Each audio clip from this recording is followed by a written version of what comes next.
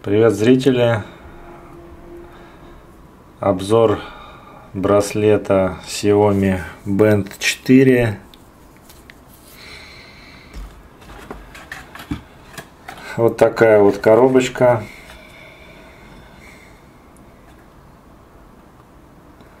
Надписи на китайском языке.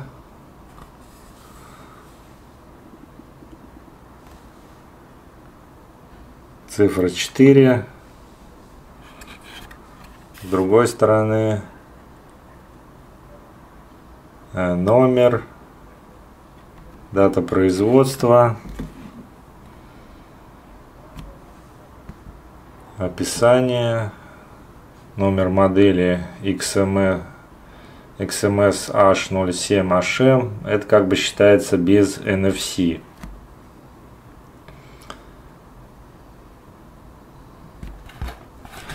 коробке ремешок, сам сам этот браслет, устройство и зарядная коробочка. Вот так она выглядит. Контакты переехали вниз. Раньше они были здесь. То есть, естественно, старые несовместимые. Это, конечно, они плохо сделали. Вот здесь сбоку номер модели. Здесь еще с другого боку номер для проверки на поддельность. Вставляется... Что-то не вытащить. Ну, нормально, более-менее. Так.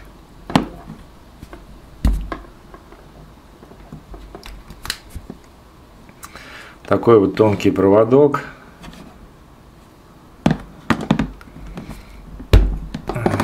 То, что они поменяли, это, конечно, плохо.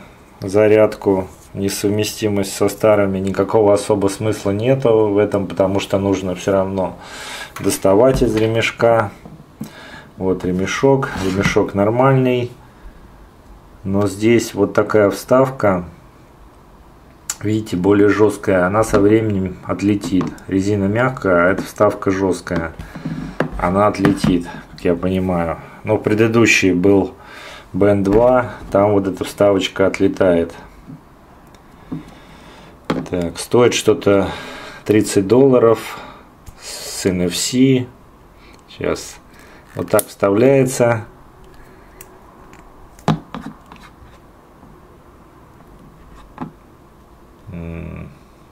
Но, как я понимаю, со временем это все разболтается.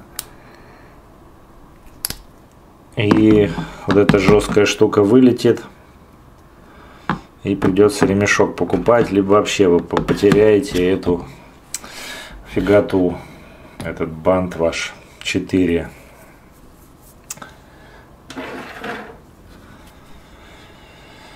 А, все, больше коробки ничего нету. Характеристики я зачитаю. Bluetooth 5.0. Ну, это я считаю левый прогон. Ничем он не отличается. Они пишут стабильность и более низкое потребление. Вранье это все нормально. И на четвертом все соединялось. Какая-то чушь. Этот Bluetooth 5. Синий зуб.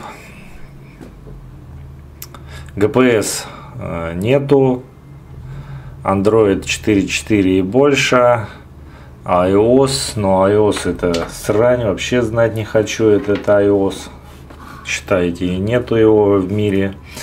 Датчики, трехосевой акселерометр, трехосевой гироскоп, датчик сердечного ритма ППГ, емкостный датчик приближения, микрофон. Только в NFC версии здесь получается у меня нету в номере 07. Вибромотор, 22,4 грамма, 5 атмосфер, поликарбонат и алюминий, ремешок съемный, э, термопластичный полиуретан ремешок. Но учтите про вставку, я сказал, вставка вылетит. Сенсорный экран, емкостный, AMOLED, 0,95 дюйма, 120 на 240, 24 бит, 2,5D закаленное стекло с покрытием против отпечатков пальцев. Сейчас посмотрим.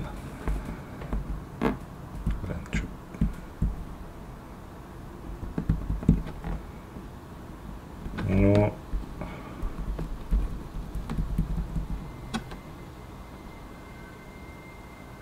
Но ну, отпечатки остаются. Не сильно, но остаются. Здесь вот кругляшок. Пишут, что кругляшок это без NFC, с NFC э, такое буквой У какая-то фигня. В общем, не работает это NFC, кроме Китая. В Китае он тоже как-то херово работает. Какую-то карточку раба нужно местного удостоверения. Э, но здесь есть пункт Alipay. В общем, никогда этот NFC тут и не заработает. Так, как дальше-то? Погода, уведомления, звонок вроде входящий показывает. Картинку я поменял из стандартного андроидовского. Так, сейчас я хотел показать вот этот неработающий Alipay. Вот видите, Alipay. Вот он есть. Что-то можно добавить. Ну, естественно, это все работать не будет. Это, конечно, очень плохо. Для оплаты было бы прикольно. Удобно. Больше тут особо смотреть нечего. Настройки, пульс. Ничего нового особо не появилось. Стекло 2,5D это полная фигня, погонь которая просто блики дает лишние. Вот блики, видите? Ну, часть экрана съедает. Может быть, что потверже экран сделали, это хорошо. Тут датчики, контакты. Контакты бывают замусориваются, окисляются. Э, так. Количество символов на экране 80, ОЗУ 512 килобайт, ПЗУ 16 мегабайт. Управление музыкой есть, NFC только в китайской версии, голосовой ассистент э, только в NFC версии, это не такая. Mi Pay нету, но тут вот Alipay написано. Без разницы Alipay, Mi Pay тут не работает. В Китае Уж не знаю. Аккумулятор 125-135 с NFC и без NFC. То есть получается с NFC даже меньше. А, там просто, наверное, место чем-то занято и меньше места. Время зарядки до 2 часов. Работы до 15 с NFC, до 20 без NFC, номер серийный 08 с NFC, без NFC 07. Ну, это часть номера. Так. А, приложение на андроиде Mi Fit ставится, там видно все вот эти датчики, как ты спишь, ходишь по карте, достаточно все вот хорошо показывает, точно я походил. Где я вот ходил, все точно показывает. Данные он берет с телефона GPS.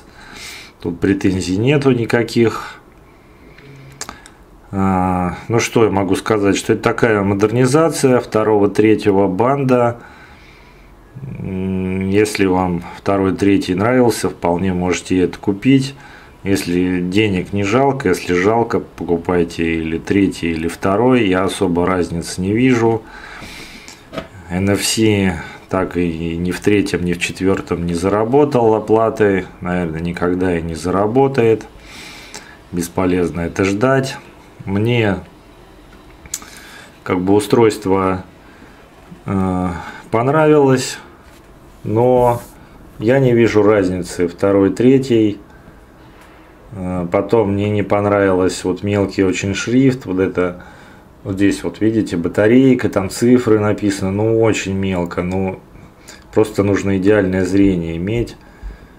Э, на английском он, я как бы и не хочу менять. То есть по мне без разницы, что второй, третий, четвертый, ломаются они быстро, все у вас разлетится, ремешок разлетится, само это выскочит, наверняка все это все равно поцарапается.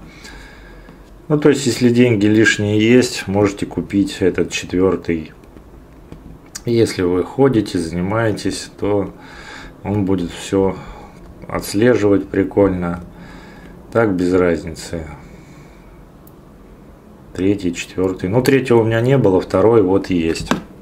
Сейчас я тогда покажу. Вот он, второй. Поцарапался. Ну вот, плоской, плоская крышка, я считаю, это зашибись. Но тут можно было пленочку налепить. И было бы нормально. Так. Ага. Датчик вроде побольше стал.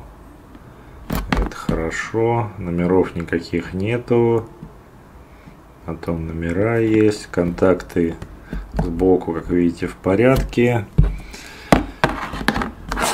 Зарядка вот такая. У старого второго. В этом э, экран сломался. Что-то я нифига не вижу. Он же... Ну, стал тусклый экран. Так. Что там? Вообще что ли? Или что там светится? Не знаю, в общем. А, вот ремешок. Предыдущий. У него здесь вылетела эта вставка. А, вот она вставка, видите, она вылетает. В том то же самое сделано. В новом. Вот, более тонкая, причем стенка. И вставка, опять же вставка, опять она разболтается. А, дебилизм какой-то конструкции. Ну, им пофиг, бегайте, покупайте каждый день. Блин, что-то свалился бант 2. Бегайте, покупайте каждый день. Ну, устройство не мега дорого стоит. Ага, вот он побольше стал.